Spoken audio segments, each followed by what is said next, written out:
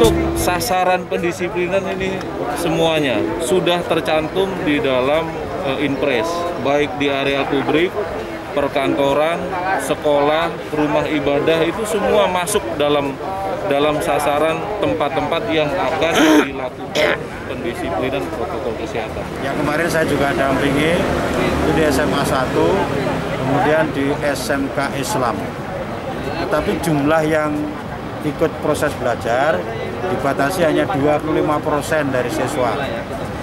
Tapi nanti kita lihat perkembangannya. Kalau dari kesiapan sekolah-sekolah serta masa uji coba ini tidak ada kendala, ya mungkin bisa lanjut. Tapi kalau sekiranya kesiapan dari sekolah-sekolah, sarana prasarana yang ada di sekolah-sekolah masih belum maksimal, maka saya tidak akan melakukan proses belajar mengajar di apa di sekolah-sekolah.